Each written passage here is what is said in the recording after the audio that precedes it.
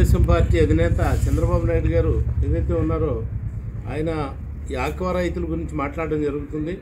ప్రభుత్వం ఆక్వా రైతులకు అన్యాయం చేసిందని మరి మీరు చేసేటువంటి మొసలు వీళ్ళు చే- వీళ్ళు చేసేటువంటి కార్యక్రమాలన్నీ కూడా ఆ మొసల కన్నీరు అందరికీ కూడా తెలిసిందే. ఎందుకంటే ఈ ఆక్వా సాగులో ఈవేళ రైతు పడుతున్నటువంటి ఇబ్బంది సామాన్యమైనటువంటి ఇబ్బంది కాదు.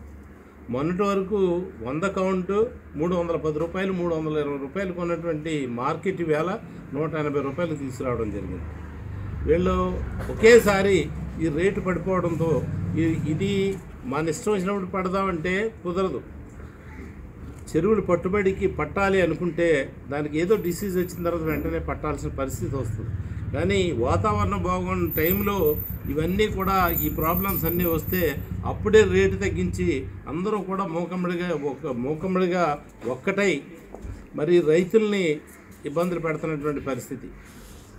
ఇవాళ ఆక్వా రైతు నడుం విరిగి వెన్ను విరిగి కూర్చున్నాడు.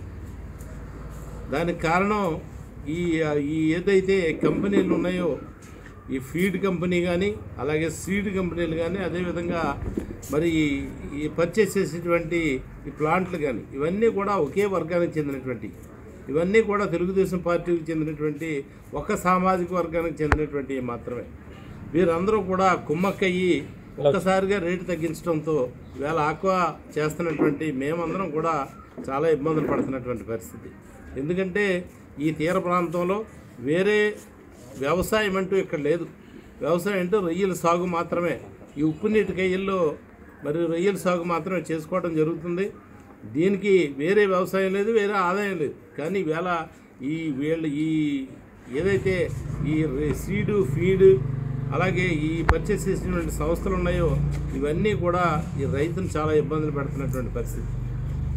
అలాగే వేళ ప్రభుత్వం ప్రభుత్వం మీద దుమ్మెత్తిపోస్తున్నటువంటి పరిస్థితి వీళ్ళు. కానీ జగన్మోహన్ రెడ్డి గారు వచ్చిన తర్వాత యూనిట్కి రూపాయిన్నరకే ఆక్వా సాకు రూపాయిన్నరకే మేము కరెంట్ సప్లై చేస్తామని చెప్పి చెప్పడం జరిగింది. అదేవిధంగా ఈవేళ రూపాయిన్నరకే కరెంటు కూడా ఇవ్వడం జరుగుతుంది. కానీ అదేవిధంగా మన మద్దతు ధర కూడా ప్రకటించడం జరిగింది జగన్మోహన్ రెడ్డి గారు. వంద కౌంటు రెండు వందల నలభై రూపాయలు కొనాలి తప్పనిసరిగా విధిగా కొనాలని చెప్పి చెప్పడం జరిగింది. అయినప్పటికీ కూడా ఆయన చెప్పిన తర్వాత పట్టుదలకు మరలా నూట ఎనభై రూపాయలు కొన్నటువంటి పరిస్థితి. ఈ రకంగా ఉంటే ఈ రైతు ఎన్ని ఇబ్బంది మీకు దీనికి అయ్యేటువంటి ఖర్చు కూడా విపరీతంగా పెరిగిపోయింది.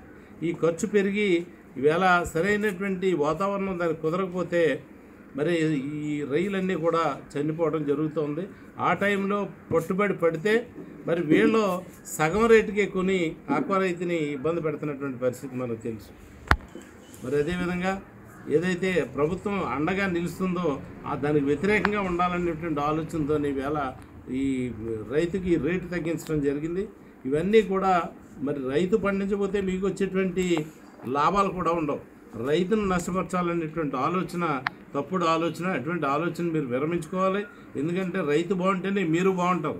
ఒకేసారి మరి అంతా కూడా మనిషిని చంపేసి తి- తినేద్దాం అనేటువంటి ఆలోచన మాత్రం మీకు ఉండకూడదు. వాళ్ళు కష్టపడుతున్నారు. ఆ కష్టాన్ని కొంత వాళ్ళకి దక్కే విధంగా మీరు ఇచ్చినట్టయితేనే వాళ్ళకి ఉపయోగపడుతుంది. ప్రతిపక్షాలు మాట్లాడేటువంటి మాటలు కూడా ఒకసారి మీ జనమే అందులో ఉన్నారు. మీ వాళ్ళే పూర్తిగా ఫీడ్ కానీ సీడ్ కానీ అలాగే రైలు పర్చేస్ చేసే కంపెనీలు కానీ మీ దగ్గరే ఉన్నాయి కాబట్టి వాళ్ళకి చెప్పండి. రైతు నష్టపోతున్నాడు రైతు నష్టపోకుండా చూడమని చెప్పి సలహాలు ఇవ్వడం మానేసి అనవసరమైనటువంటి రాద్ధాంతం చేస్తూ ప్రభుత్వం పైన బురద అనేది కరెక్ట్ కాదని చెప్పి తెలియజేస్తూ అదేవిధంగా చాలా హౌసింగ్ స్కీమ్ గురించి కూడా మాట్లాడడం జరుగుతుంది. హౌసింగ్ స్కీమ్ ఎప్పుడూ కూడా మరి జగన్మోహన్ రెడ్డి గారు ఆ పాదయాత్రలో ప్రకటించాడు ఆయన. ఇరవై ఐదు లక్షలు ఇల్లు ఇస్తానని చెప్పి ముప్పై ఒక్క ముప్పై రెండు లక్షలు ఇల్లులు ఇవాళ పట్టాలు పట్టాలందరికీ కూడా పేదలకు పంచిపెట్టడం జరిగింది. అదేవిధంగా గతంలో కూడా పట్టాలు ఇచ్చారు గత ప్రభుత్వంలో కూడా. ఏనాడైనా ఒక్క సెంటు భూమి రైతు దగ్గర కొని ఇవ్వడం జరిగిందా? ఎప్పుడూ కూడా ఈ ల్యాండ్ సేలింగ్ భూములు కానీ అలాగే ఈ పొంతలో ఉన్నటువంటి పోరంబోకుల్లో మీ పోరంబోకుల్లో మీరు పోరంబోకు భూముల్లో మీరు పట్టా ఇచ్చారు తప్పితే జిరాయితీ భూమి రైతు దగ్గర కొనేనాడైనా ఇచ్చారా? ఆ రోజు రాజశేఖర రెడ్డి గారు మొదలుపెట్టారు. రాజశేఖర రెడ్డి గారు వచ్చి రైతు భూమిని కొని పేదల పట్టాలు ఇవ్వడం జరిగింది. ఈవేళ మరి జగన్మోహన్ రెడ్డి గారు వచ్చిన తర్వాత ఇరవై ఐదు లక్షలు ఇస్తారని చెప్పి ముప్పై రెండు లక్షలు ఇవ్వడం కూడా జరిగింది. ఇవన్నీ పేదలందరికీ ఇల్లు ఉండాలి పక్కా గృహం వాళ్ళకు ఉండాలనేటువంటి ఆలోచనతో మరి జగన్మోహన్ రెడ్డి ప్రయాణం చేస్తున్నాడు. ఇటువంటి ప్రభుత్వంపై దుమ్ము ఎత్తుపోయడం అనేది కరెక్ట్ కాదు. మీరు ఒకసారి మీరు చేసిన పనులు ఎటువంటివి ఒకసారి గుర్తుకు తెచ్చుకోమని ఇలాగా అనవసరమైనటువంటి రాద్దంతా చేయొద్దని చెప్పి మీ మీకు అందరికీ కూడా తెలియజేస్తూ మరి ప్రభుత్వం మంచి కార్యక్రమాలు చేస్తుంది. వీలైతే సహకరించండి లేకపోతే మాట్లాడి ఊరుకోండి కానీ ఇటువంటి అవాకులు చవాకులు పేలొద్దని చెప్పి తెలియజేస్తుంది